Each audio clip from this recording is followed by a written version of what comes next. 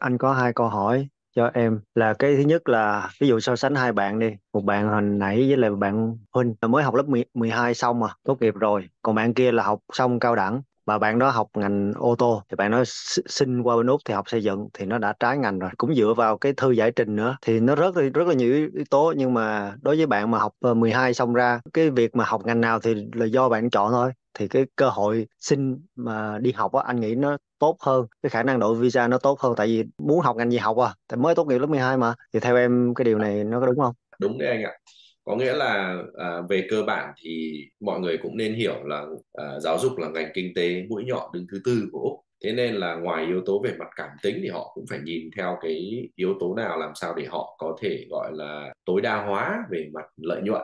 Thế nên là trừ khi bạn chưa học xong cao đẳng và bạn bảo là thôi tôi học cái ngành uh, sửa xe này trong cao đẳng nhưng mà tôi thấy tôi chật vật quá học không vào và không thích không đam mê gì các thứ thì mình xin chuyển sang một cái gọi là ngành nghề khác thì nó sẽ dễ hơn. Còn một khi mà đã tốt nghiệp rồi mà lúc đấy mình lại tiếp tục xin học nghề thì họ sẽ đánh giá là mình đang gọi là tìm cơ hội để xin định cư thôi chứ không phải là thực sự là mình sang Úc vì việc học thế nên là đối với cả những cái bạn kiểu dạng là giống như cái bạn học cao đẳng kia ấy, thì cái bài toán chiến lược là gia đình có chịu chi không? Đấy, gia đình có chịu chi không?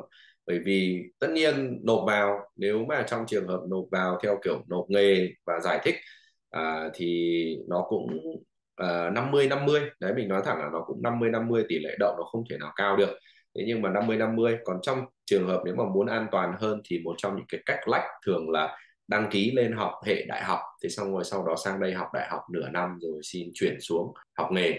Tất nhiên là nó sẽ vẫn có rủi ro. Ờ, thế nhưng mà cái rủi ro khi mà đã sang đến úc rồi ấy, thì cái rủi ro đấy là mình có thể kiểm soát được. Còn cái rủi ro khi mà nó gọi là ở Việt Nam và bị từ chối thì chịu. Đấy, thì tất nhiên là cái trường hợp của bạn học xong cao đẳng thì nó sẽ khó chịu hơn một chút. À, cái, cái bài toán đưa ra là mọi người muốn đi theo hướng nào?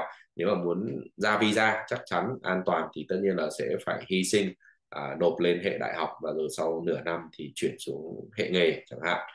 À, thì đấy là một cái khía cạnh. Còn à, đối với bạn huynh thì mới học xong cấp 3 thì nói chung rõ ràng cái đấy chính là cái điểm mạnh lớn nhất đấy. À, họ không thực sự quan tâm lắm là bạn thích học ngành gì à, đâu. Mà miễn sao là ví dụ bạn mới học xong cấp 3 bạn có tài chính bạn có tiếng Anh thì cái việc mà giải trình để xin đi học thì nó chỉ nằm ở cái khía cạnh là tại sao bạn đam mê cái ngành đấy và ví dụ bạn quay trở về nước thì bạn sẽ kiếm được bao nhiêu tiền từ cái ngành đấy? Hoặc là ví dụ gia đình mình có những cái kinh doanh gì liên quan không? Thì nó sẽ là cái điểm mạnh. Thế nhưng mà nói chung là hồ sơ giống như kiểu của bạn huynh thì mình nghĩ là cái tỷ lệ thành công nó cũng phải rơi vào cỡ khoảng 70 cho đến 80 phần trăm. So với bạn kia thì may ra là 50 50 nếu mà nộp mà nộp nghề.